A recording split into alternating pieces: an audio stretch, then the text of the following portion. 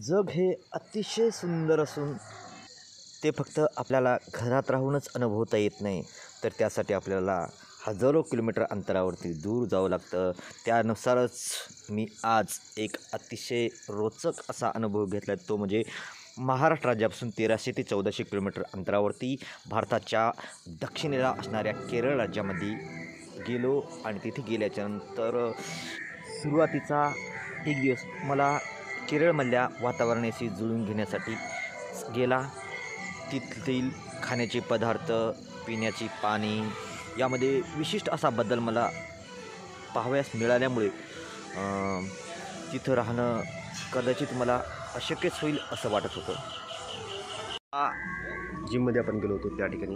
आणि त्या जिमचं अ, तर नमस्कार मित्रांनो मी या ठिकाणी आहे. Y M C A international हॉस्टेल्सच्या ठिकाणी जे की कोचिनमध्ये अतिशय सुप्रसिद्ध असं एक राहण्याचं ठिकाण आहे. आणि मी बाहेर आहे या लॉजिंगच्या बाहेर रात्रीच्याला मी माझ्या पाठीमागे जी ही दिसत आहे हे लॉजिंगचं ठिकाण आहे या ठिकाणी मी राहिलो होतो. त्याच्या बाहेर असणारं हे अतिशय अप्रतिम असं सुंदर असं हे झाड या ठिकाणी आपण पाहतात. या ठिकाणाच्या बाहेर पलीकडच्या साईडला एक जिम आहे. आणि जिमच्या बाहेर पुन्हा या ठिकाणी बघा एक बास्केटबॉलचं एक छोटंसं एक मैदान आहे. त्याचं नाव आहे बघा पॉल जोसेफ स्टेडियम तर याचं नाव एका इंडियन व्यक्तीचं नसून पॉल जोसेफ असं या मैदानाचं नाव ठेवण्यात आलेलं आहे. यामागचं कारण म्हणजे मित्रांनो जे की आपण जे केरळमध्ये राहत असत्या का केरळमध्ये जास्तीत जास्त सत्तर टक्के व्यक्ती हे अँग्लो इंडियन जमातीचे आहेत. म्हणजे की आपल्यावरती अगोदर ब्रिटिशांचं दीडशे राज्य होतं. त्याच्या अगोदर डच पोर्तुगीज असे वेगवेगळ्या प्रकारची विदेशीयन या ठिकाणी आलेत आणि त्यांनी या ठिकाणी राहा राहायला लागले. राहायला लागले आणि त्यांनी येथं कायमस्वरूपी असं वास्तविक केलेलं आहे. तर या ठिकाणी आजही आपल्याला डच पोर्तुगीज आणि ब्रिटिश लोक पाहायला भेटतात. तर त्या व्यक्तींचं गणना ॲग्लो इंडियन जमातीमध्ये केली जाते.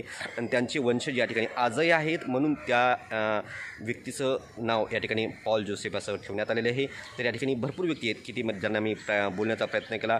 हिंदी बोलण्याचा प्रयत्न केला. हिंदी पण त्यांना समजत नाही आहे मराठी तर समजतच नाही आहे इंग्लिश किंवा मल्याळम या दोनच भाषा त्यांना समजतात. तर त्यानुसार हे अशा प्रकारचं ठिकाण आहे.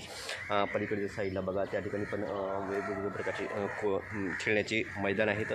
आणि त्या ठिकाणी पण मी एक मैदानामध्ये गेलो होतो. ते मैदान पण अतिशय सुंदर असं मैदान आहे. तर अशा स्वरूपाचं हे अतिशय रमणीय असं ठिकाण. हे आता मला मिस होणार आहे. मी आता हे ठिकाण या ठिकाणी पण सोडणार आहे. आता मी आपणास या ठिकाणचं जिम आहे ती वरच्या साईडला आहे ते दाखवायचा या ठिकाणी प्रयत्न करतो आहे Paul Joseph stadium can you see this name okay तर या ठिकाणी बघा मित्रांनो. हे बघा. पुन्हा.